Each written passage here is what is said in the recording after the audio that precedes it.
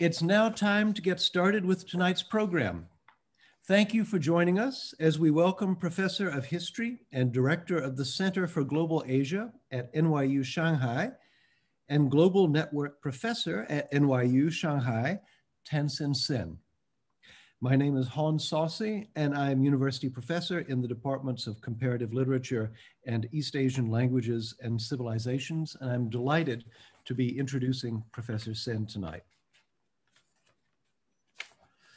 The Center for East Asian Studies at the University of Chicago, otherwise known as CEAS, is an interdisciplinary nexus, clearinghouse, and resource for academic exploration and support related to the study of China, Japan, and Korea. For more information on the center and to, to subscribe to receive weekly outreach emails pertaining to future events sponsored by the center, please click on the links that will be provided in the chat box. We're very grateful to the Center for sponsoring this lecture. Now, before I introduce our guest speaker, I would like to remind everyone that tonight's Q&A session will, will follow the presentation. To ask a question, simply type in your questions into the Q&A box and they will be forwarded on to the speaker by me. I'm going to moderate. Let me get started then with the introduction.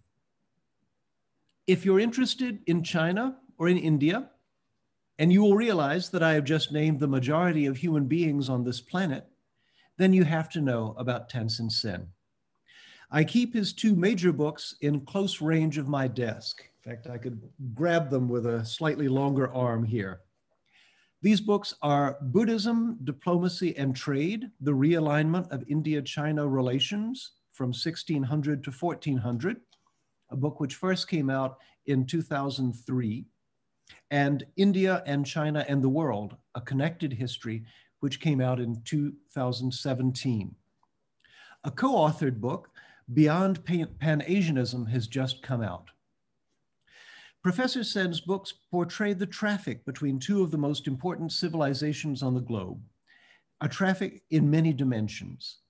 Trade carried on land and by sea, religious doctrine, military clashes, ideological debates, great power struggles, relations to third parties such as Tibet, Burma, Russia, the United States.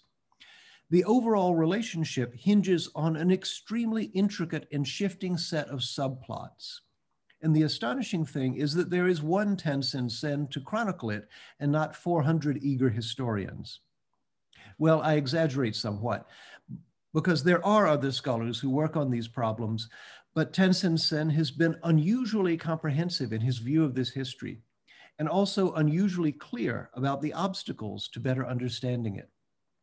The paradox is that the subject is so huge and so important, and the scholars relatively few. But there's a reason for this.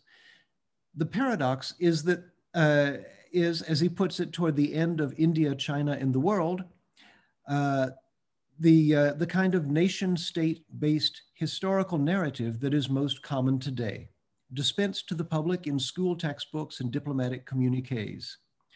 That narrative is persistently hijacked by interests other than those of strict candor. He writes in order to push against, and I quote again, this incarcerating of the past connections within the framework of national and civilizational histories or with the intention to advocate a particular agenda that results in the failure to recognize the much broader and more complex connections that have been woven between India and China in their over 2,000 years of interaction. So his work is largely a project of restoration. I am happy to issue a call to everyone to read Tansen Sen's books, reflect on their arguments, revel in their meticulous documentation, and discard such old habits as that which comes so naturally to us China scholars of treating China as a world to itself. And I imagine students of India must lapse into similar habits. Tonight, we will hear, have the privilege of hearing Professor Sen speak on giraffes and elephants, the circulation of exotic animals in the longue durée history of the Indian Ocean. Welcome all. Welcome, Professor Sen. thank you so much, uh, Haun, for the generous introduction. And uh, I would like to also thank the Center for organizing this event. Uh, and there has been a lot of back and forth. Uh, and I hope the, the, the internet works out quite well. And uh, I'm looking forward to the Q&A at the end of this session.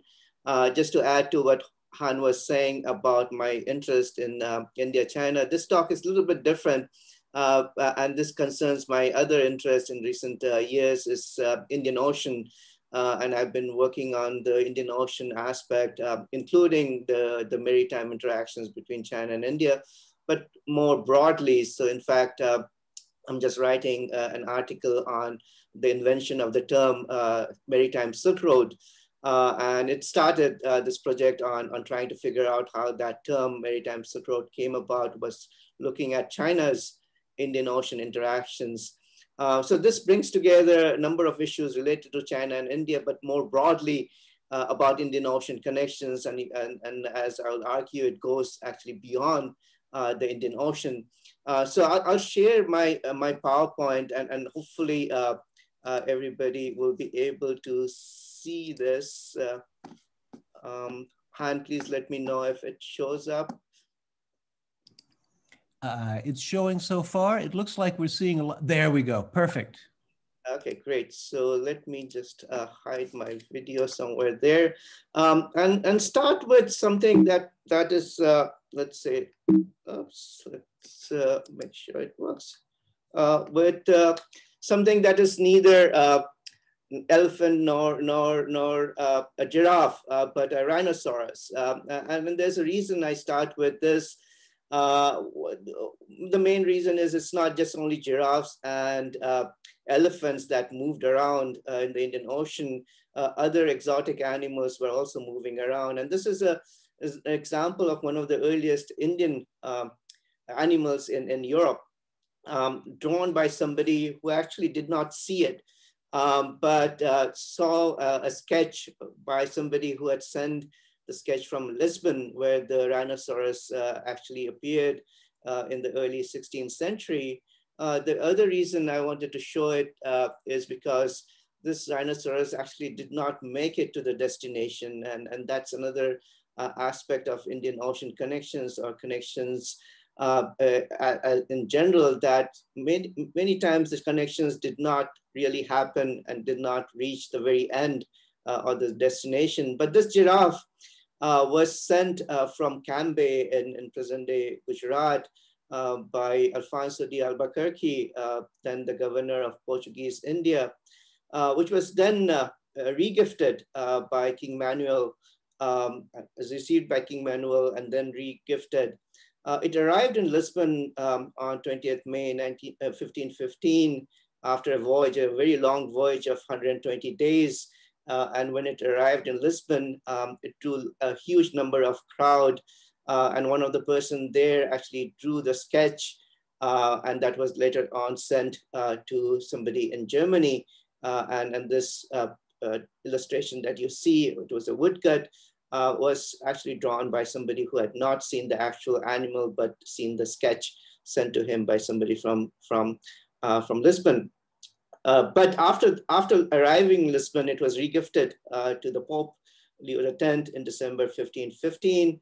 Uh, unfortunately, though, in, in, the journey from Lisbon uh, to, towards Rome, um, the ship sank uh, and the rhinoceros, which was shackled on board of the ship, sank with, with the ship. if it had not been shackled, maybe it had swum out of, of the water, but didn't happen. But uh, his body was uh, recovered uh, and then it was mounted uh, and the mounted specimen was given to the Pope. And the reason that is, is, is interesting is because after the Pope uh, received the mounted rhinoceros, he did not pay attention to it uh, any longer. we do not know what happened to this mounted rhinoceros. The image that was seen by the people in Lisbon survived, but the mounted rhinoceros, we don't know what happened uh, to it. Uh, one reason for that may have been that Pope was really in love with another gift he had received uh, a few years earlier, uh, also from India through Albuquerque uh, in 1511, which was shipped from Cochin. And, and we know a bit more detail about uh, the transportation of, of this elephant called Hanno. Um, and, and he was fed rice, given lots of butter. Uh, his skin was anointed with, with uh, oil. Uh, we also know there were two uh, custodians that went from India all the way to Europe. we also know the kinds of boats that were used uh, and we also know that uh, Hanno arrived in Rome in 1514, and we also know that he died uh, on 8th of June, 1516. Uh, what, is, what is really fascinating um, about uh, Hanno is the attachment, uh, and I argue his, the emotional value that was attached to the elephant by Pope seen from his death. Um, so you can compare the death of the rhinoceros and the death of the, of the elephant here uh, through Pope's uh, uh, this epitaph that he wrote, basically crying over the death of his favorite, um, let's say, pet, but also the diagram or the sketch that was drawn um, of the elephant uh, that the Pope really loved. Uh, so you can see the two Indian uh, animals that reached the Vatican um, in different forms uh, then led to different kinds of emotional uh, attachments. And that's something I wanted to also stress uh, as part of movement of animals across the Indian Ocean. Um, what is also very interesting is that uh, after the death of the elephant, uh, his remains were buried. I mean, he, the, the body was buried in Vatican uh, and it was excavated and the bones have been found. Um, and there's a wonderful book about, about Hanno, uh, and the rhinoceros. Uh, it's called The Pope's Elephant, and I would highly recommend people to read it to see this fascinating history of the movement of exotic animals in the 16th century, one that survived uh, and the one that did not reach its uh, final destination. So some of the key issues uh, that um, uh, I, I, wanted to talk about, I won't be able to go through all of these things, but uh, the issue of thinking with animals. Uh, and as I started looking at uh, elephants and giraffes, uh, uh, the, the conceptual issues, some of the arguments that people have made is, can we look at the movement of goods, commodities, humans and animals, uh, and especially animals by thinking of the animals who are on board ships as they travel from one place to another. Uh, also the animal agency, animal mobilities, hierarchies among different kinds of animals that moved, the human uh, animal entanglements. Um, so that uh, is summarized in, in this quote called uh, Thinking with Animals. Uh, the issue that I was always interested in, um, also with regard to India and China, was this various kinds of connectivities that we see uh, and, and with uh, giraffes and animals, we see uh, hinterland to port cities connections, Indian Ocean connections, Afro-Eurasian connections, and also imaginary connections. The drawing of rhinoceros in, in, in, in Germany, I would say, is part of this imaginary connection to a live object that uh, the artist really did not see. Uh, but also ideas of circulation uh, knowledge. Uh, uh, in, in case of the animal movement, it's a ship design in order to accommodate the animals, especially large animals on, on ships, uh, is something quite interesting and fascinating as well. Um, with animals, there were skilled workers, mahouts and veterinarians that traveled as well. So we usually miss out on, on these people who traveled overseas. Uh, then there's also artistic uh, production that takes place, especially with regard to uh, exotic animals. We saw the rhinoceros, but also the drawing of the elephant, and that's very common uh, in the movement of exotic animals. Uh, the other issues are issues of value, not only economic commercial value, but um, emotional values that's associated with exotic animals and their move from one place to another. Uh, there's also an issue of ethics uh, of putting animals on board ships uh, and also offloading them uh, and the pain that they suffer on ships and the resistance that they provide as they are boarded on ships or unloaded from ships.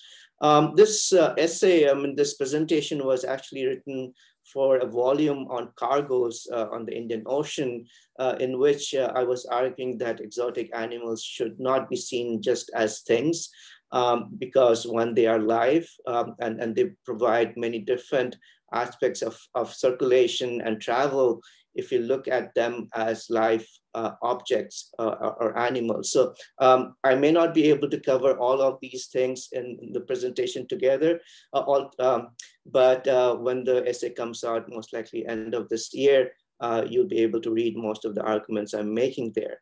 Uh, the starting point um, was this, Levi-Strauss had said that we can understand two natural species are chosen not because they are good to eat, uh, because they are good, they are good to think. Uh, and this idea about thinking uh, with animals is elaborated in this fascinating edited volume uh, where the editors uh, point out that thinking with animals varies with time, space, and medium, uh, and could range from the humanization and anthropomorphization of, of animals to their scientific, uh, technological, and environmental relevance the relevance in, in my presentation is about transportation, uh, moving animals uh, from one place to another, uh, which is uh, by looking at, at animals, I think we can know about Indian Ocean connections in many different ways that perhaps we have neglected so far.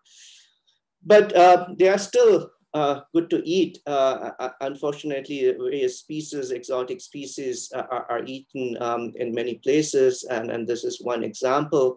Um, but we wanted to go beyond that and look at um, the human use of animals in, in different ways. Um, as we know from early history that animals, especially horses and elephants, uh, were used for various kinds of warfares, ritual purposes, uh, exotic animals uh, such as birds uh, and, and giraffes and, and elephants were given as, as tributes. They were put in collections in zoos. Uh, they were uh, used in circus. Uh, they were smuggled, are still being smuggled. Um, livestock are different kinds of animals used for consumption on ships, um, especially on long distance travels. chicken, sheep, and pigs were common animals that were used on ships, cooked and eaten there but they also export commodities. Um, animal products, ivory, horns of rhinoceros, kingfisher feathers, we find this in, in Chinese sources. Uh, many of these were gifted to Chinese emperors throughout Chinese history.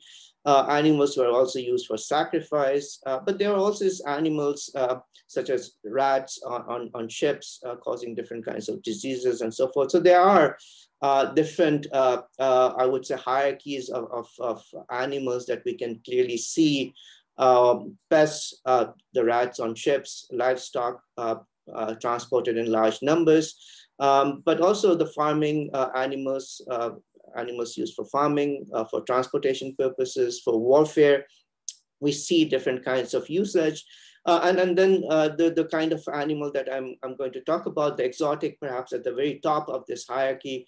Uh, they're also called charismatic megafauna um, as, as they are huge and, and, are transported. They are exotic because they are not seen at a particular local region. Um, and, and so the lives and afterlives of these uh, exotic animals as, as they move, and, and this is what I've been looking at for different periods, uh, uh, is sourcing these animals. They are found in certain locations, mostly in the hinterland areas, and then they're brought uh, to the port cities, and that's why the hinterland port cities connections, uh, they are transported overland. Then from the port cities, they are shipped. Um, and so this is the maritime aspect of their move. Um, they had to be kept alive. I think this is an important part of the value of, of these exotic animals. And we have seen the comparison between the rhinoceros and the elephant that the Pope received. Um, alive mattered more than a dead mounted uh, exotic animal. Um, so I would I, I, would highlight that aspect uh, that keeping them alive was very very important. Uh, displaying them, um, this is seen in, in zoos and circuses and, and so forth, but also remembering and, and the, the artist who drew this in Germany um, the, the, epitaph that Pope uh, wrote. This is all part of remembering uh, uh, an exotic animal, but also ex excavating as the archaeologists in Vatican dug up the bones of Hanno. Uh, it's part of now um, history of, of, the movement of these exotic animals. There's a very strong political use of uh, exotic animals that we see. It's related to power, it's related to legitimacy, sovereignty, diplomatic alliances, of course, warfare, organized games and circuses, um, and become very important part of parks and zoos. Uh, Uh, but also talking about the agency of, of these animals, uh, as, as I looked at the transportation of giraffes and, and elephants, uh, I see that ships were redesigned, retrofitted to accommodate uh, these kinds of uh, animals. Uh, some of the ports were redesigned so that they could, these exotic animals could be downloaded from ships or, or uploaded on ships. Um, there's an issue of value creation that also happens. And, and this is, as I said, not only the economic value, but also the emotional values that are created uh, in the movement of these exotic animals. Um, there's also a knowledge production part of it, uh, uh, understanding the geography of, of these places where the exotic animals come from um, but also uh, the, the fauna of a particular place that gets uh, included in the writings once the animal arrive at a new place. Uh, and the artist, artistic production, which I, I think is, is, a quite fascinating aspect of the movement of both giraffes and, and elephants and other exotic animals. Now, um, my concern was uh, looking at how these animals are, are large animals are tra transported. Um, as I mentioned, this is written for a book on cargoes. So as cargoes uh, how are these elephants uh, uh, and giraffes transported from one place of the Indian Ocean to another place beyond the Indian Ocean. Um, these are not uh, ordinary cargo, uh, as I argue in, in, the essay. It's not like Noah's Ark where the animals just really loaded themselves on the ships.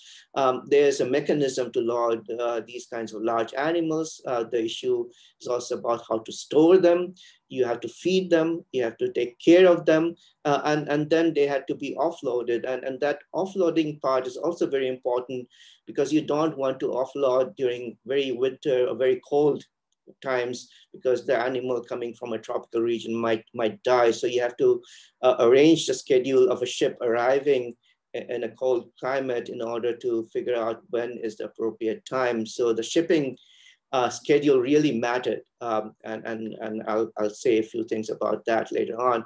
Uh, but uh, that's, that's an important part. Uh, we can see that since these were not ordinary cargo, um, uh, the, the large exotic animals, we had different kinds of ships uh, that uh, ferried these animals in the Mediterranean and South Asia, and, and, we get writings about these. We get images about uh, these ships. Um, so we have the Arab ships that Jalba that uh, transported animals. Uh, there are specific ships that transported horses in large numbers um, in Southeast Asia and China. All these places had their own um, designs of ships um, that were used to transport animals, indicating that transporting animals was something very important in Indian Ocean connections. Um, these are some images uh, that indicate it was not easy. Uh, slings were used uh, recently um, to put uh, large animals, elephants and camels. Uh, the elephant uh, on the left of your screen is being taken to Japan in 1949. there are camels that were exported from India to Australia. on the bottom left is the elephant uh, being loaded. This is a Roman uh, uh, uh mosaic uh, that, that you see, and it's not easy. Uh, and we usually don't talk about the pain that animals suffer during this process, which I think should also be studied in, in this process. But then on board, the ships then had to be retrofitted to hold elephants and horses, for example. They had to be fed. And of course, uh, the human passengers uh, interacted with animals uh, differently uh, on board uh, ships. And that is, again, another interesting thing that needs to be studied, the human animal interactions uh, on ships. they did travel together, they shared spaces, and I think that's also very important part of that. Now, offloading animals often prove to be very, very difficult. And, and this is uh, the elephant that was presented by India to Japan in 1949, it just refused to come down. It took at least two days uh, for them to figure out how to uh, offload this elephant uh, uh, after it arrived in Japan. So you can see the process is not an easy one. and and, and, and this, these kinds of exotic animals are not ordinary cargoes and, and, and why we should not just associate them with things uh, they have uh, a power to resist uh, and that resistance is an important part of, of their transportation. Um, giraffes presented uh, another unique uh, problem uh, because of their uh, size uh, and also because of their necks. Um, it was very difficult to uh, accommodate on ships and, and people did not know how to do it. So some of the sketches, this is of course not how they were transported, but people imagining the transportation of giraffes would draw it like that. Uh, usually what would happen is uh, on the deck, a hole would be dug so that the, the giraffe would go down and it would not interfere with the sails. Uh, but uh, these are fascinating aspects of how you actually transport uh, large animals and how that knowledge of transporting that large animal then moves around different parts of the Indian Ocean and the Mediterranean Sea. Uh, this is a very, very interesting uh, book uh, written a long time back, uh, The Giraffe in History and Art, um, which points out how awkward it is to transport giraffes, especially because their necks uh, would break very easily. and, and so you had to take care of, of the giraffe on board ships. There are traveling boxes that were, were created. Um, but unfortunately, we don't have much detail about uh, how some of these giraffes in the 15th century ended up uh, in, in Ming China. We, we have records uh, and paintings of these giraffes in China, but we have very little information about how they were actually transported. Um, and, and so uh, this, this issue with their necks uh, breaking is, is something important and, and comes up uh, in many other records as well. It's not just related to transporting animals uh, to China. Um, as I'll point out, five of them arrived in, in China. We do not know how many were actually sent to China during the Ming Dynasty. The other issue I wanted to emphasize, uh, other than the transportation of, of these exotic animals, is the visual impact they had on people who saw it. Um, these are not people who actually received this, but in, in, as they were moved from one place to another, they were quite visible on board of ships. And as the ships passed through different ports, people saw these animals and, and that had visual impact. So just in Lisbon, somebody seeing this, this uh, rhinoceros arriving in 1515 uh, were really stuck with, with, with what they saw. Uh, and the same with the giraffes, and it has been pointing out, pointed out that giraffes are so unusual uh, in their looks that it, it does something to the brain. Um, and, and, this is uh, the psychological impact of seeing these kinds of exotic uh, animals that end up resulting in drawings and pictures and so forth. So that visual impact of seeing these animals not on land, but also on ships uh, is, is, I think, quite fascinating. And, and that impact we would can perhaps say the human uh, animal uh, entanglement is also through the visual representation and visual uh, accommodation of these animals. Some people were afraid of traveling um, with the animals. Uh, they, as I pointed out, that uh, animals and humans would travel. And this is uh, Ibn Battuta, who, who was pointing out that he was so frightened to travel with camels uh, in the ships that he decided not to do that. Uh, and there are other sources as well that talk about the experience traveling with animals, sharing space uh, with animals. And in fact, by the 17th, 18th century, there were rules and regulations about how to put the animals, how to take care of the animals uh, on the ships and how to put the passengers separately, uh, how to feed them, how to take care of, of excrements and, and so forth. Uh, so there are these issues about what happens uh, when animals and uh, humans share a space on, on, on, on ships. Now, I'm, I'm going to talk about two uh, case studies, let's say uh, 15th century, um, uh, the age of giraffes, uh, when um, a number of giraffes were sent uh, from Africa eastwards and westwards as well. and then the mid 20th century, when uh, Indian elephants were sent uh, to different parts of the world as well. So these are two case studies and, and I'll try to make my points through these uh, two case studies. Um, different ends, uh, of course, one uh, maybe one end of Indian Ocean, uh, the other one going beyond the Indian Ocean to Florence. so Lorenzo almost at the same time receives a, a giraffe um, and, and, and the Yongle emperor receives three of them, uh, and they are overlaps. And this is the fascinating network of giraffe presentations or gift giving uh, that happens in the early 15th century. Um, and uh, I would I would argue the the creation of the Mamluks um, uh, uh, uh, polity in, in Egypt had something to do about the popularity of, of the sending or gifting of giraffes throughout the Indian Ocean world and including the Mediterranean. Uh, so if you look at these two uh, rulers, uh, Yongle Emperor, those of you who do uh, China, and since this is the Center for East Asian Studies, many of you would know about Yongle Emperor, uh, and his political background coming to the throne by usurping and, and, and then trying to legitimize his rule um, not only within uh, Ming China, but outside through various kinds of gifts and tribute. Um, I have argued as well that Zheng He's missions were part of that, um, trying to legitimize his power in Ming China. Uh, exotic animals that he received, and, and, and giraffes were just one variety of exotic animals uh, that, that uh, Yongle received, but I would argue that this had to uh, relate to his trying to legitimize his, his uh, political power in Ming China, but also so that he is really the son of heaven and everything under Tianxia, under the heaven, uh, is perhaps uh, uh, coming and, and bowing down to him. Uh, he receives three giraffes, one, two from Beng one from Bengal to start with, one from Malindi and one from Aden.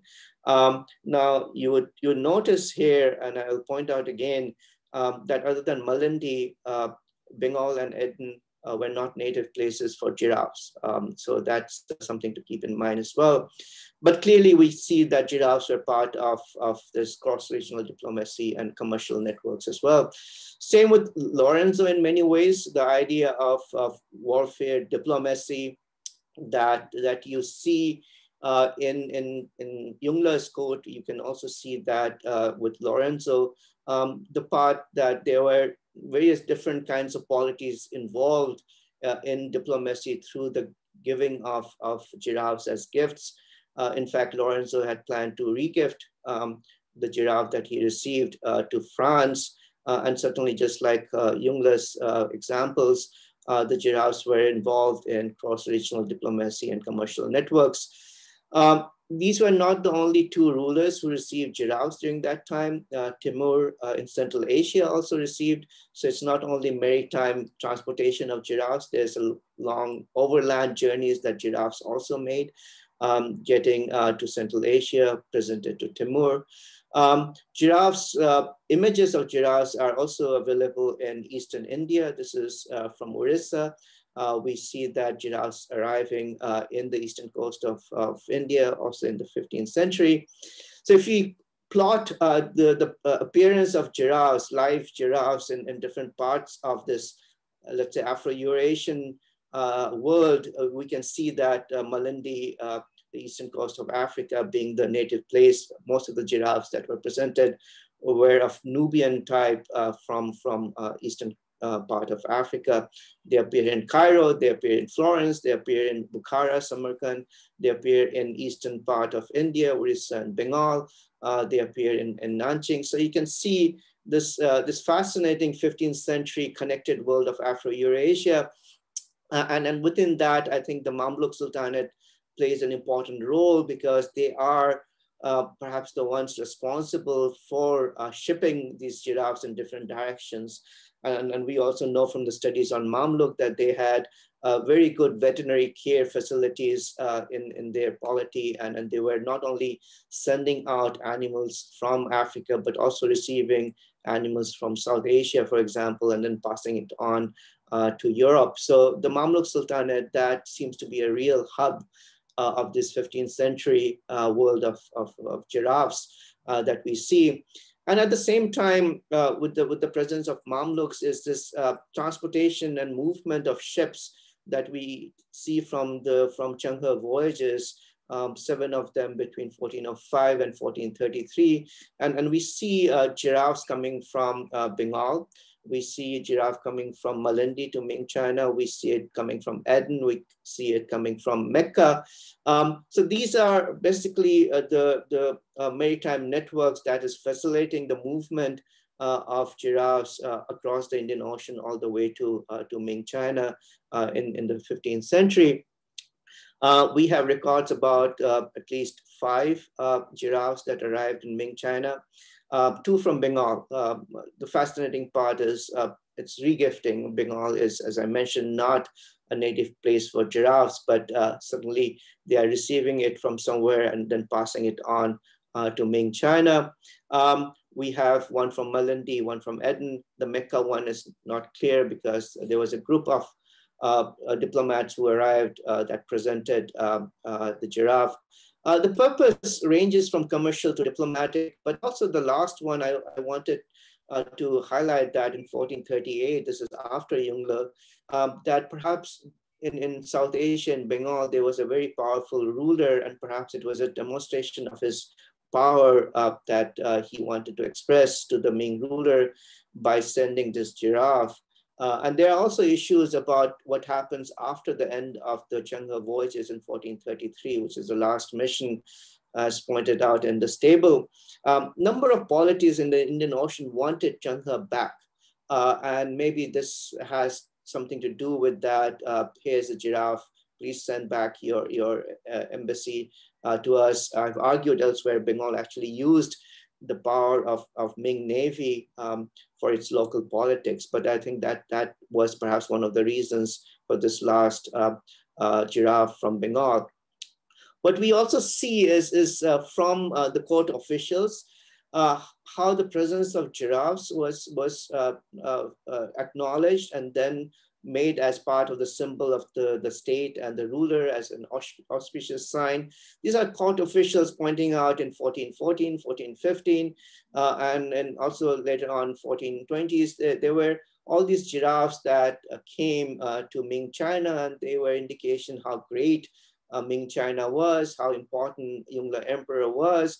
Uh, and, and, we see this uh, reflected in many different writings, the virtuous power of the emperor, uh, how the foreign barbarians have all come and, and, and uh, uh, bowed down to you. So this is from court officials, and that's perhaps not surprising that they would say that as the qilin is seen as an auspicious animal. But what is surprising is the reaction of the rulers uh, Yongle and, and, and, later on the the emperor, who seem to indicate that well, we are not interested in these foreign things. Uh, and and uh, we are better off educating ourselves in the Confucian tradition. Um, so this is something I've been trying to understand why, um, despite uh, the officials pointing out this is an auspicious sign, you are now a legitimate ruler for Yongle, uh, and, and you know all the foreign barbarians are acknowledging your rule the Ming rulers are somehow resistant to that idea. Uh, and, and, these uh, reactions by Yongle and Xuande appear in, in, in, the Ming Shilu. Um, I, have argued perhaps is to just uh, emphasize their Confucian uh, ideas and values uh, to the officials that, you know, we don't care much about the foreign things. Um, but despite that, we what we see is uh, the paintings are being reproduced and circulated by the court. Um, and, and this is again to, to tell the people that, you know, we have access to these exotic animals uh, and, and so forth. So, so uh, there is this connection and I would like to hear from people participating if they can explain uh, this disparity between what the court officials are saying and how the Ming emperors are reacting um, to, uh, to the foreign objects that are arriving. Uh, I wanted to also point out these uh, Arab, most likely Arab caretakers uh, who also show up in all these paintings that we see across the Afro-Eurasian world.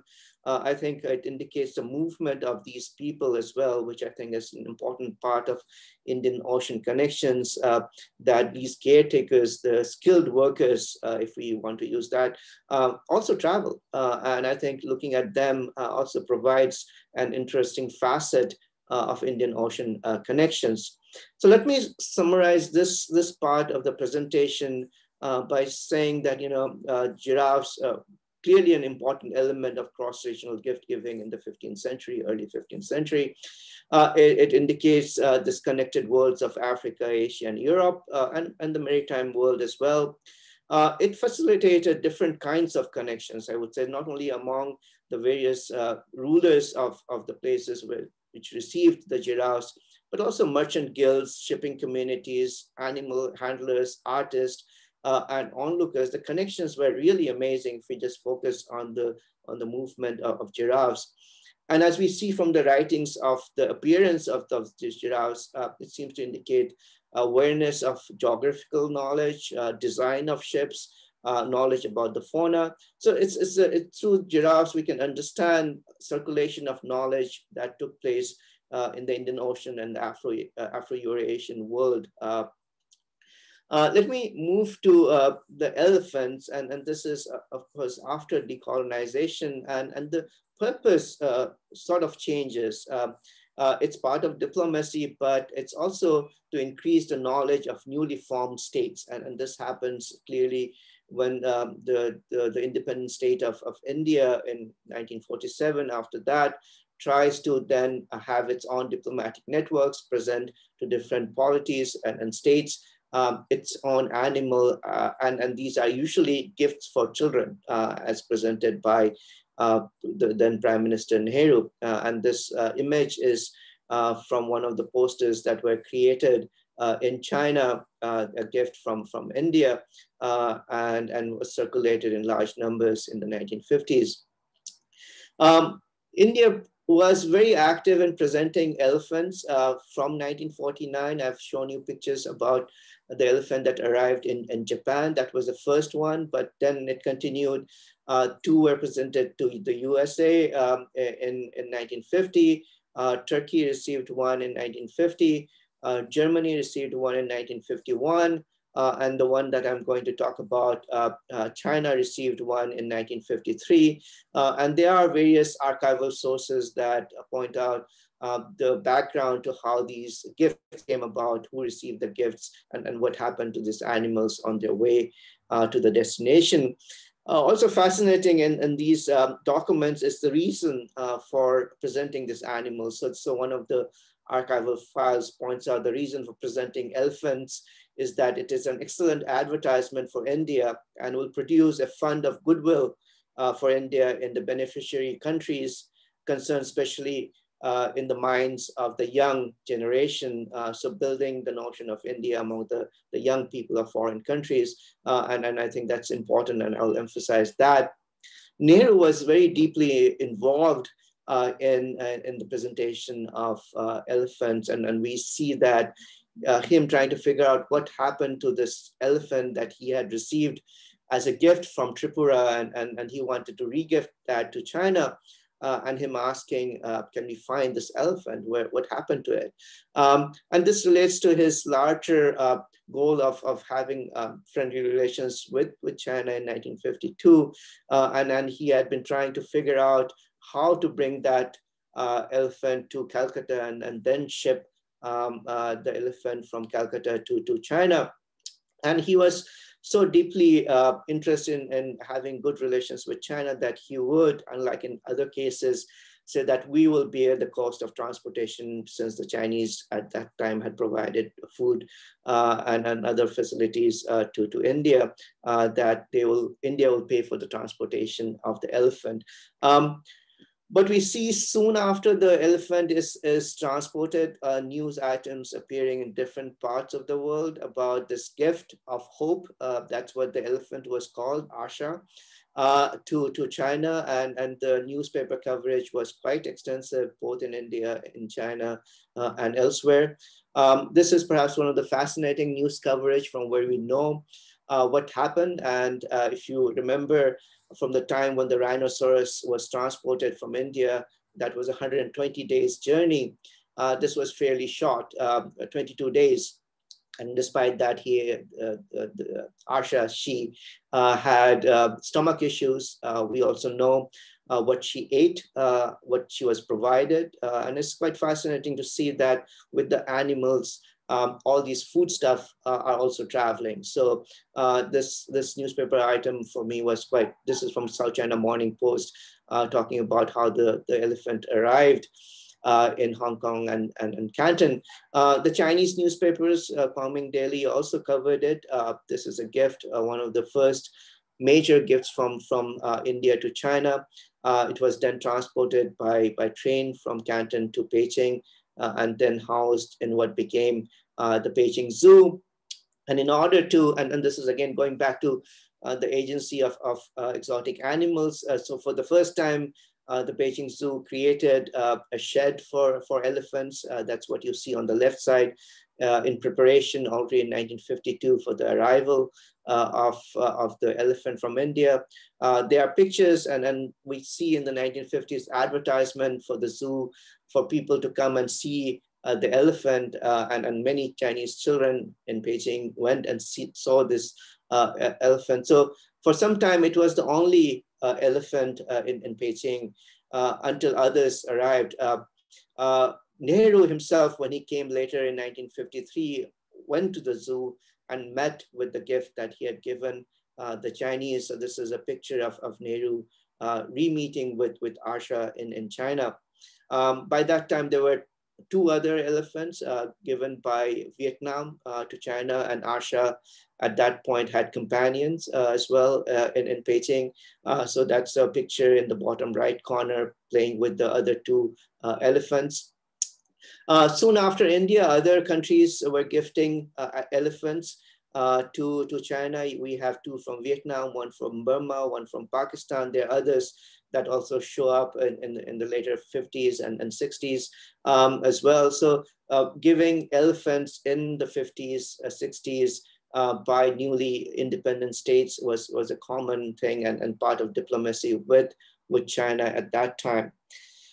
Now, when the, when the Dutch children heard about uh, the gifting of elephant by, by India to different countries, they also wanted an elephant from India.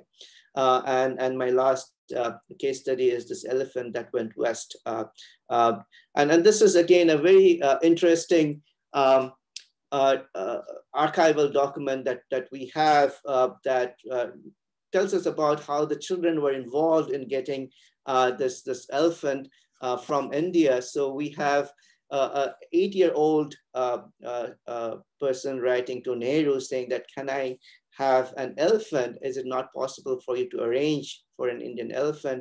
Uh, and, and this episode uh, is depicted uh, in this, this file, which brings many of the things that I'm talking about together. Um, so one relates to the logistics of procuring and transporting exotic animals, uh, the role of diverse stakeholders, in this case, uh, Indian and Dutch foreign ministries, the zoos, animal caretakers, uh, shipping companies, veterinarian, uh, the Dutch children, very important. Uh, also these emotional values, commercial values. Also uh, something I wanted to point out, confusion about transporting, procuring these animals. And of course, uh, the Indian Ocean connections and Eurasian connections that we see uh, with the giraffes also taking place with the elephants in the 1950s. Uh, the, the story is, is quite interesting because it happens in a bathhouse in, in Amsterdam where somebody claiming to be the nephew of, of Nehru says that uh, he can arrange uh, for a gift of elephant for the, for the Dutch children. Uh, and so he promised to ask his uncle Nehru to organize that. Uh, and, and this uh, idea of, of gifting an elephant uh, related by this Indian student in Amsterdam in a bathhouse really attracted attention of the Dutch authorities who asked the Indian embassy in, in the Netherlands to find uh, an elephant uh, for them.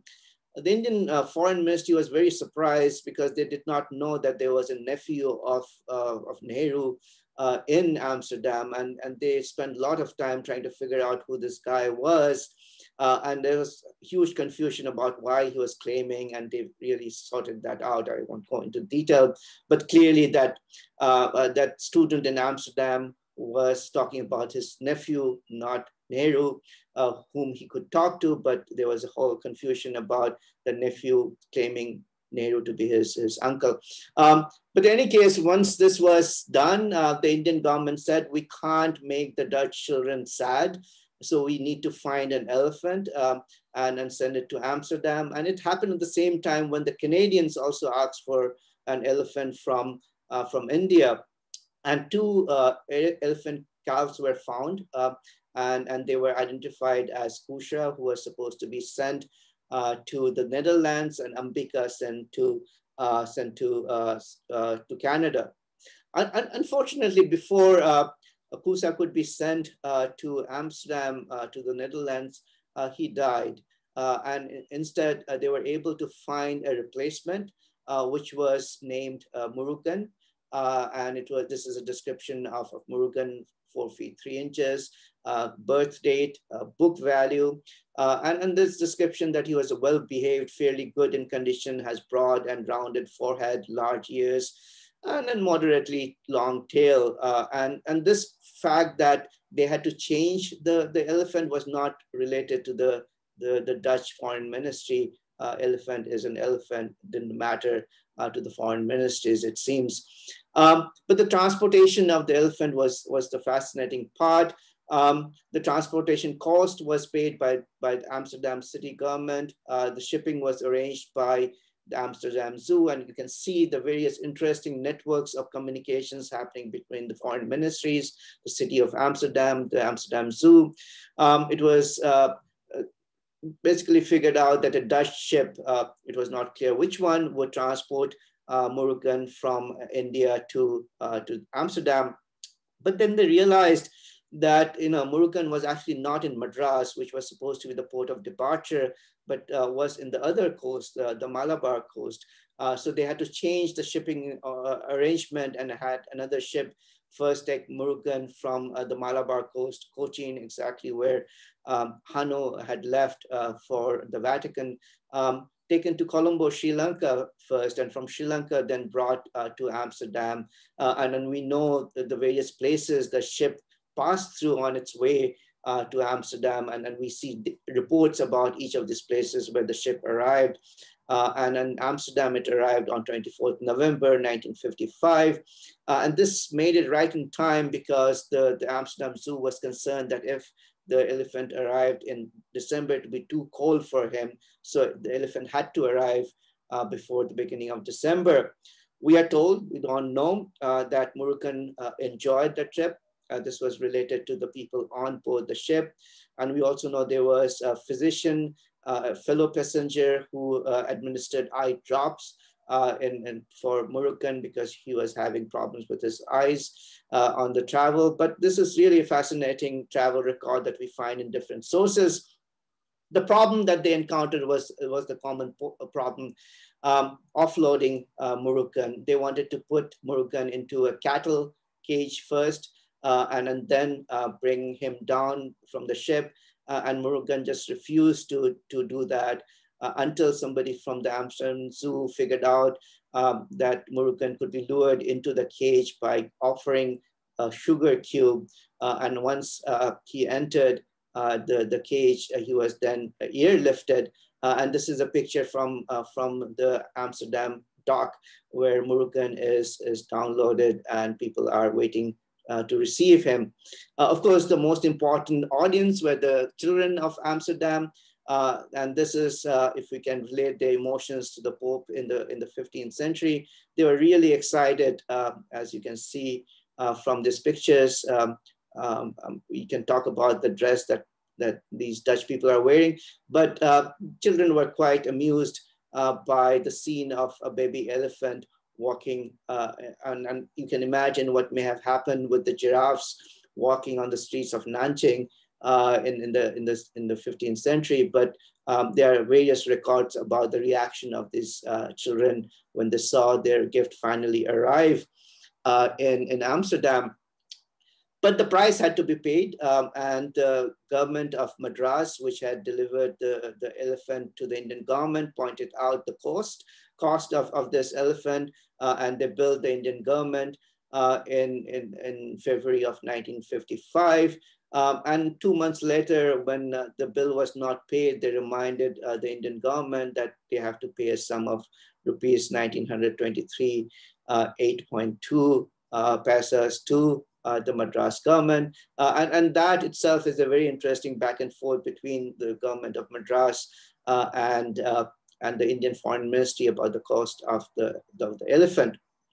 So let me make uh, a few concluding remarks. Um, uh, remarks because there are certain things that still needs to be studied uh, about the transportation of exotic animals. What we know clearly is that these exotic uh, animals were gifts of power and diplomacy. We see that in the 15th century we see that as creating goodwill idea in, in the mid 20th century. Uh, we can see the agency of exotic animals during the course of transportation and the kinds of cross-cultural uh, interactions and knowledge. Uh, it, it, it, facilitated uh, the technological development of ships uh, that it, it provided, uh, it inspired art, literature, poems. Um, there are various uh, uh, ways in which they were used to publicize power, legitimacy, and, and sovereignty. And so these animals really mattered uh, after they reached their, their destinations. Uh, things that really need to be studied uh, are these human-animal entanglements, especially on what happened on the ships. There are many passengers, caretakers, what was happening. So in the case of Murugan, we, we see some of those reflected, but I hope uh, this could be done for the 16th century as well when the giraffes were traveling uh, with humans uh, on, on ships. Uh, this idea of, of floating cosmopolitanism is, is something I've been developing, um, not looking at the land part of Indian Ocean connections, but the maritime space, the water connections, and, and how perhaps what happens on ships really, really mattered as well. And, and this is something we should be looking at as part of human, non-human connections in, in the transportation of, of animals, objects, movement of people uh, on pre-modern and modern ships. So let me end with a postscript. Um, Asha uh, had uh, a shuffle with, with a male elephant in Beijing Zoo uh, in, in May 1972. This is when the relations between India and China were not good anymore uh, and died shortly thereafter. She was 34 years old when she died. Uh, Murugan lived on for a longer time. She, uh, he was euthanized uh, on June 4th, uh, 2003 at the age of 50. Uh, and we see the report, uh, this was not publicized in Chinese newspapers. Um, unlike when Asha arrived in, in China, this is in one of the books on, on what happened in Beijing Zoo that we find how Asha actually died uh, and it was not very nice a way of, of passing away. Um, we also find how uh, Murugan uh, was euthanized. This was mostly related to old age and sickness, um, that uh, he was finally uh, euthanized and, and the Dutch newspapers really covered um, the, the death of Murugan uh, more than how the Chinese covered the death of Asha. So I'll end with that. Thank you.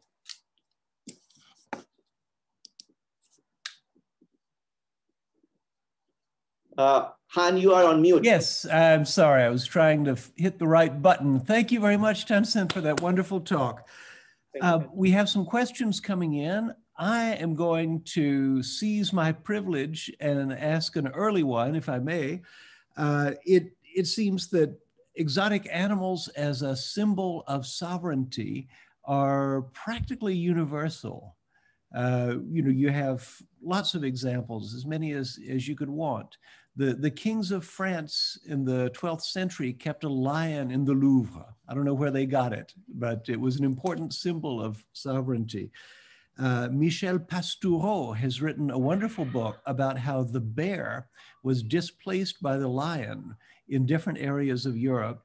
Uh, the bear being the indigenous symbol of the powerful animal that kings and nobles wanted to have as their totem. And then, uh, under the influence of Christianity, the lion displaced the bear in all but a very few places in Europe.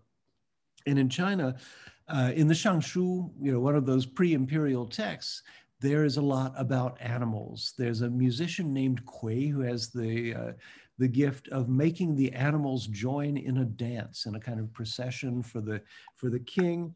And um, one of the one of the things that uh, that uh, rulers in the Shangshu expect is tribute not only of animals from different places, Fang Wu, but also of bronze vessels engraved with images of these animals, which is the origin of our term Wen Wu, which is still uh, very much in circulation as the name of an archaeological journal. So I guess uh, my question has to do with why this should be such a uh, such a widespread and universal uh, image. You know, uh, can can you think of any uh, examples of an exception or a particular inflection that deviate from this general pattern? Well, animals, as, as you're pointing out, very very common, especially exotic animals. uh, but also local animals having power over non-human entities, I think is a common thing that it's not the human world that we rule over, it's also the, the animal world. And, and that fits into the general, I, I think the Tianxia concept, uh, we forget it's not that the, the Chinese emperors are, are overseeing the humans, but also the regions, the, the spaces and the animals. So, so I think it's, it's common and, and that's a notion that, as you pointed out correctly, exists as well, uh, as, as well, even in India where acquiring of, of these kinds of uh, animals was uh, part of sovereignty, part of power. Um, now, what I did not understand is, is that uh, the Ming rulers' uh, uh, reluctance to accept that. I mean, what were they trying? I mean, it would fit yeah. in what you are saying that the emperors would say, wow, look at this. I have power over all these animals, but but there, I mean, so this would be a counter thing that you are asking that when they are receiving they are reluctant to accept it as, as a sign of sovereignty, as a sign of, of power. Uh, and then what's happening uh, uh, with, with them, and it's not just Yongle saying that, it's, it's other uh, Ming emperors saying that, you know, I'm not interested in these foreign mm. animals. Uh, so is, is that something that they are making up? Uh, and, and, and so that would be an exception to the rule that you are pointing out that, you know, everybody is happy to receive uh, these exotic animals and show off uh, these, these animals. But here you have examples where the, the Ming emperors, Yongle certainly should have gladly accepted and said, yes, Dito, all right, uh, I, I, I accept what you are saying, I'm the legitimate ruler, but no, he's, he's expressing, you know, uh, studying is better than having these foreign objects, how much it fits into the general maritime ban that his father had instituted, start of the Ming dynasty I, am I'm, I'm not very sure, but I, I still don't know the reason uh, for for him to say that. And, and then Xuande also, I see there are a number of Ming uh, scholars in, in, in participation. Maybe they have some ideas, but maybe Haun, you have some ideas. Why the exception is rule? Yeah, yeah. Well, my thought is that it might not be specific to the Ming. Uh, already in Liji and Shijing, there's a problem about who has the right to give a gift to whom and you know you can't really give a gift to your sovereign because the sovereign already has everything right? It's like that old problem that comes up in advertisements around christmas. What do you give the man who has everything? And in fact it would be kind of improper to suggest that you're fulfilling a need that the emperor has because the emperor by definition can have no need right? Can have no lack but it's it's kind of the ambiguity of this image, though, isn't it? That the exotic animal is a kind of a symbol of of cosmopolitan power, let's say, kind of cosmic power. But if the object that's presented is seen as as conferring that status, then it's not so good, right? It's uh, you know you can imagine somebody who is uh, so arrogant that they wouldn't accept a Nobel Prize because it would assume that the Nobel Prize was somehow an addition to their self-importance. Anyway, I don't know. I don't want to make to overdo the uh, the ethics here, but it's you know it's kind of in the logic of the gift with uh, you know recognizing its uh, relations to power. Um, I want to go to some of the questions from people better informed than myself. Uh, here is one that raises a very interesting question about the charismatic megafauna. Uh, Nigel Rothfels asks, is there a danger of studying such charismatic animals that the examples end up misrepresenting the larger, larger context of animal movement? Right? Because there are many animals that get around by their own power, like birds, or they're carried by climate or currents, or they hop on ships like rats. Uh, the point is that there is an extraordinary amount of animal movement and by looking at elephants and giraffes, we may miss the larger, the larger picture. So there's the question for you. What do, what do you yeah. think about that? Hmm? uh, as I pointed out, uh, this concerns animal mobilities uh, as well. The people have studied different kinds of animal mobilities. One is the kind that has been pointed out that they do move on their own from one place to another. Uh, but uh, the other uh, kind of uh, animal mobility is when humans play a, a role in, in their movement uh, and bringing them to a location where they are not natives to, right? So this is uh, this is another issue that I think is part of animal mobility studies uh, that looks at not only exotic animals, and people have done studies about uh, other animals, livestock, and so forth, bringing uh, uh, perhaps uh, camels to, to Australia and, and how it created all sorts of ecological issues. so this, this, this relates more to animal mobility connected to the interference of humans. And I think uh, uh, I think that's one part. It's, I would not argue that this is the entire part of animal mobility or one uh, or, or, the only aspect of animal mobility uh, undertaken by humans, but I think it's an important one uh, because the values are, I think, different uh, depending on what kinds of animals you are talking about. and I, I, see that the exotic animals have a different kind of emotional and commercial values. And, and you see that from the procurement to the transportation and, and, and so forth, it seems to be of a different category than livestock. So basically in, in this volume on cargoes, we have uh, essays that look at the livestock transportation. Mm-hmm. Uh, and, and, and so this is a different set of animal mobility. Uh, and I would say, yes, this is general part of animal mobility is one part, not the entire part. Yeah. Um, I may add in as footnote that there was an attempt to introduce camels into Texas, ah. where the climate is very hot and there's a lot of sand. So there was a thought that the camel might be the future of Texas. Uh, so you know, imagine in a in a counterfactual history what the Hollywood movie industry would be about if camels had been successful. Um, so let's go on to another question. Um, how do you think some of these ideas apply to the phenomenon of panda diplomacy? Yeah, and, and uh, clearly that's something that the Chinese also learned fairly quickly uh, in the 50s uh, as well. I, I, would say they are quite connected as the Chinese were receiving uh, animals from uh, uh, India, Vietnam, and others. They started their own way of, of relating uh, to, to the outside world through, through the pandas. So I, I think they are closely connected. Uh, and and it's, it's, I was looking at how the pandas were actually transported as well. Uh, and, and by that time, you had air transportation, which, which totally changed the nature of, of moving these exotic animals. Uh, the, the number of days required uh, also went down. But it's a whole very interesting aspect of transporting these animals by air, uh, which became popular with, with the pandas. So, so I, I would say that yes, uh, maybe the purpose is same, but the mode of transportation is also very fascinating when it moves from ships uh, to, to airplanes. Yeah. I was 11 or 12 years old when Ling Ling arrived in the Washington Zoo, and it was huge. Even even in the suburbs of Nashville, we knew about the the pandas. That's something about your reaction.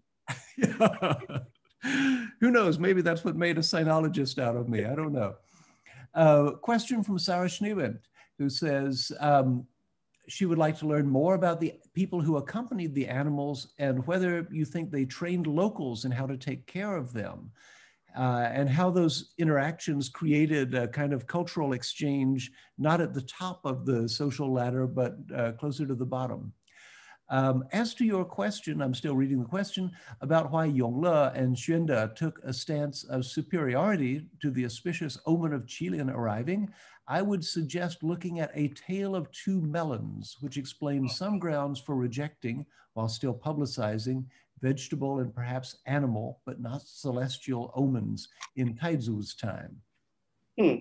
Very, very interesting. Yeah, I mean, uh, the, the caretakers are very important. We see that when um, uh, the, the animals from India were shipped to Lisbon, uh, Albuquerque is actually pointing out the importance of these caretakers and how they should be actually treated quite well when they arrive. So the importance of these caretakers uh, highlighted in that episode. Um, and of course, uh, he also points out these are the caretakers who will then teach the locals about how to take care of, of the rhinoceros and, and elephants. Um, we, we don't have much information from those that arrived in China, for example.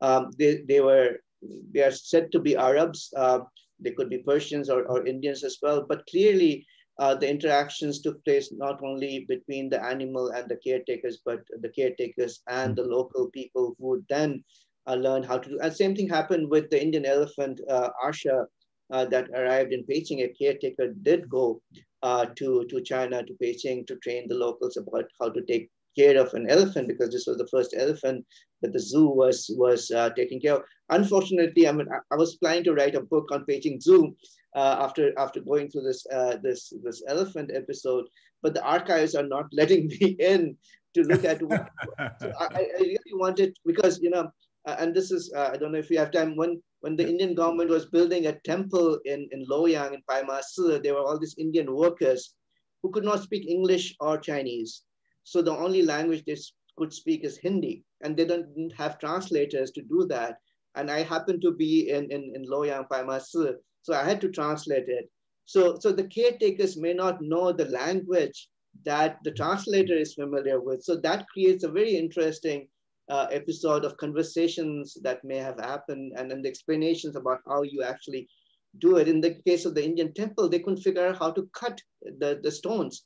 They were making all the stones and not, not and, and, and throwing them away because it would not fit according to the specifications that the Indians were trying to relate. Mm-hmm. So this uh, problems in the loss of loss in translation is really fascinating. Mm-hmm when these, uh, not the elites, but the, the caretakers, maybe speaking different languages or dialects of languages go one from one place to another. Yeah, yeah, that's tremendous. And already the animal caretaker is a kind of translator, right, between the animal's needs yeah. and the yeah. human context. And so the translator needs another translator to make it all work. Um, let's see. Uh, oh, we've got several suggestions about the, the problem of the gift. I'm just going to follow on some of these. Um, uh, the, uh, the white elephant in Thailand was considered a kind of dangerous gift given to a ruler with to a rival, given by a ruler to a rival, with the expectation that the receiver will keep the th keep the thing alive. Right, so this is a non-neutral gift. Maybe this is part of the Yongle emperor's uh, suspicion about the animals as gifts. Uh, and uh, I have a follow up from Sarah who says some grounds include that one, I, the emperor, am greater than a mere vegetable or animal or foreign object, and my status can only be reflected in truly great things, like the whole empire being prosperous, right? So that's one. Uh, two, uh, Ming Taizu was well aware that omens had been used uh, to manipulate emperors politically in the past. And three, he worried about complacency and mm. ordered only bad portents to be reported from then on. Right? Ah, very interesting. Thank you, Sarah. Yeah, yeah, this is great. Um, let's see. Um, from Brian Cannon.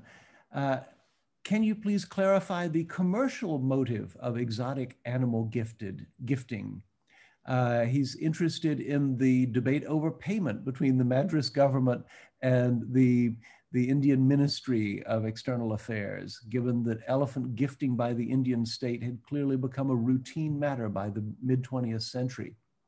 Uh, were there any rules put into place to standardize the procedure? Uh, are there hints in the sources of people regretting that they failed to get credit for sourcing these wonderful gifts? Or does the nation take ownership in the act of giving to another nation? No, it's, it's really fascinating in, both the earlier period and, and the mid 20th uh, century. Uh, so the commercial aspect, if uh, we look at the first gift from Bengal uh, to the Ming um, emperor, uh, it doesn't seem to have come from the ruler of Bengal, but from the traders, uh, most likely Muslim traders who were really trading with Ming China at that time. And so in my essay, I talk about how politically unstable Bengal was when the first gift came. Uh, and it seems to be uh, from the, the traders. We usually miss out uh, this kinds of, of complexities in the gifting. Uh, we always think it's a ruler to ruler uh, exchange that's happening, but uh, it seems in the case of the, first gift from Bengal, and even I would perhaps think about uh, Aden and, and Mecca, it may be um, the traders, local traders who are interested in, in pursuing trading relations with Ming China, that they are uh, uh, more intimately involved than the, than the, uh, political ruler of, of these places. For the, for the mid 20th century, it's, it's very clear. It's, it's really fascinating because before the Indian government decided uh, to uh, find uh, Murugan, they had basically tried to figure out who has an elephant. Right? and the bids came from different places and they rejected the first bid, which was very, very expensive for them. They said, how can this this government, the local government asked for so much for an elephant uh, and, and we should look for more uh, offers. And, and so they ended up with the, the, the, Madras government, which was offering it for much lower price than, than, the, than the Mysore uh, government, which had uh, asked for a much higher price. So you can see this local governments also trying to be part of this uh, international diplomacy uh, by offering various kinds of, of gifts uh, to the, the Indian Foreign Ministry and then to be regifted elsewhere. Yeah, I, I think that that is a fascinating part. But how do you figure out how much does an elephant cost, right? I mean, why is the Madras government saying it started with 200 rupees, ended up with 1200 rupees? And then there's a cost of moving the elephant to the to, to Cochin, uh, transporting it. And it's, it's very detailed because, you know, the Indian government, when it's about to reimburse, you would need those kinds of in, in China, we call it fapiao, right? Um, to, to basically give you a breakdown of how much a bucket uh, would cost to give water to the elephant. So we have those kinds of detailed uh, records about, about this. Uh, did the local governments want to get involved uh, in, in some ways? Um, you know, the, the issue with Indian foreign policy is that local governments cannot get involved uh, in, in, foreign mm. policy. So it has to go through the Indian Foreign Ministry, uh, although uh, some states would want to do that. But it's, it's a fascinating, I mean, this, this Murugan case uh, with, with this large archival uh, document we have, we see the relationship not only between the Madras government and the Indian Foreign Ministry, but other local governments uh, and the Indian Foreign Ministry in, in that case. Wonderful. Um, I have a question here from uh, Stephen Teiser, also known as Buzzy. Hi, Buzzy. Uh, who points out that big men or big rulers use big animals to demonstrate the, their strength. Is there any counter evidence, big men using small animals, or big women like Empress Wu Zetian, who ruled in her name for only 15 years, uh, using other types or sizes of animals? Yeah, hi Buzzy. I, I took a class with Buzzy in Princeton when I was at Penn.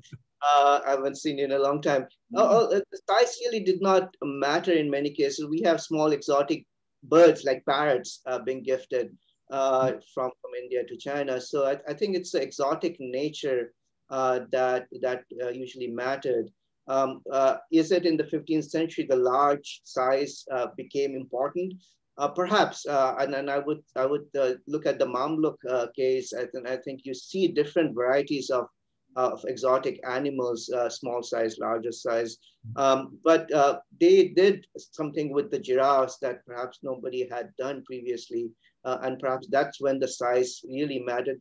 And in, the, in this case, is is not just the size; is the onlookers looking at this object, as I pointed out. When the impression that giraffes gives uh, on, on human eyes is, is extraordinary, right? So that part of visual impact, I think, I think mattered because one was giving gifts for the zoos or, or, or gardens of emperors, but then it had to be shown to the public. Uh, and, and, and when it came to displaying it to the public as part of power, sovereignty, whatever, I think then the size really mattered. Um, and, and so I think the, the use of these exotic animals may relate to the size uh, uh, more than uh, why they were gifted. Right. A very good reminder since Valentine's Day is on the horizon that when you really mean it, you need to give a giraffe or an elephant.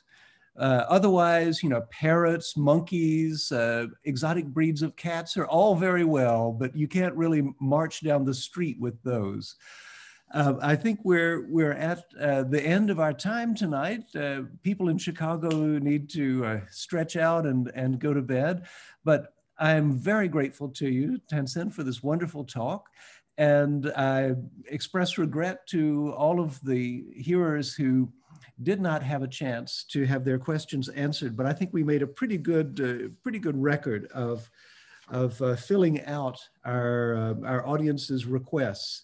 I'm I want to thank everyone to, uh, for joining tonight's event. And um, I urge you to sign up for the University of Chicago Center on East Asian Studies uh, uh, web mailing list, email list. Uh, you can very easily click on those links and get all of the details about our future events, virtual and, let us piously hope, in person. Tansen, thank you again for a marvelous talk that covered the, the infranational, the national, the transnational, the international, all kinds of dimensions of, of animal movement. Thank you again. And good night, everyone. And, and uh, audience members uh, who contributed uh, to the ideas that I was throwing out, please uh, feel free to write to me uh, and, and give me your suggestions or if you have other questions that you couldn't ask, you, you are welcome to write to me. Uh, you can find my email address online. Thank you, Haun. You know we will. All right. Thanks to everyone and to all a good night. Thank you. Good night. Good night.